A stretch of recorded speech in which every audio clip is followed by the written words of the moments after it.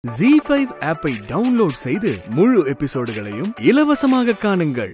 இன்னைக்கு என் கடைசி பொண்ணோட பிறந்த நாள்.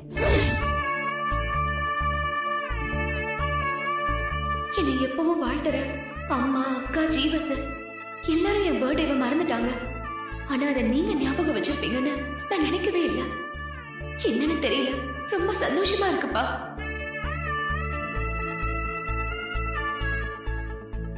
மயிலு என் பொண்ணு பிறந்த நாள் சொல்ற ஒண்ணும் சொல்லாம நிக்கிறேன் எனக்கு என்ன சொல்றதுனே தெரியல சார் அந்த பொண்ணு வேணான்னு நினைச்சுதானே சார் அவளை கொல்ல சொன்னீங்க? ஆனா அவ பிறந்த நாளை இப்பவும் எப்படி சார் ஞாபகம் வச்சிருக்கீங்க? எப்படி மறக்க முடியும் மயிலு? நல்லதை மறந்தாலும் செஞ்ச பாவத்தை எப்படி மயிலு மறக்க முடியும்? என் கடைசி பொண்ணு பிறந்ததும் இன்னைக்கு தான் அவளை கொல் அதுவும் இன்னைக்கு அதான் சந்தோஷம் வேதனை ரெண்டையும் சேர்ந்து அனுபவிக்கிற நாள் இன்னைக்குன்னு சொன்னேன்.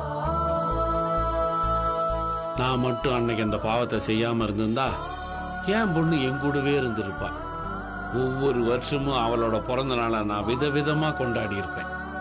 என்னோட கெட்ட புத்தி அதையெல்லாம் நடக்க விடாம பண்ணிடுச்சு. அந்த சந்தோஷத்தை இவ்வளவு நாளா நான் இழந்துட்டேன் மயில.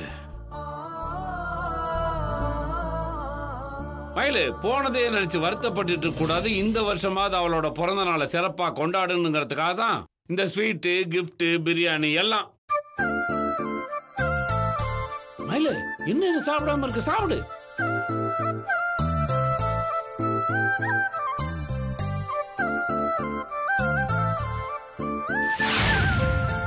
மயிலு நான் உனக்கு கிஃப்ட் கொடுக்கல இந்த.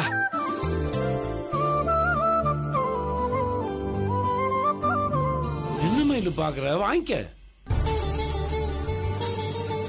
பிரிச்சு பாரு.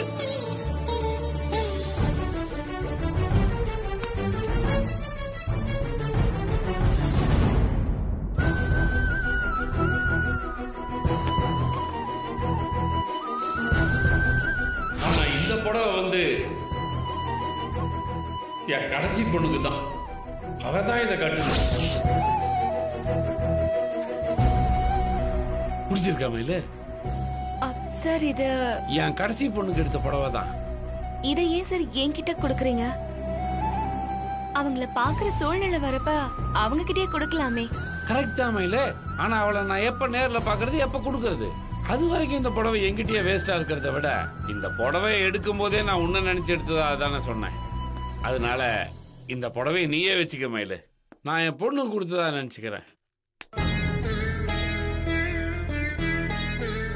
முழு எபிசோட்களையும் இலவசமாக ஜி ஃபைல பாருங்க. இப்பவே ஆப்ப டவுன்லோட் பண்ணுங்க.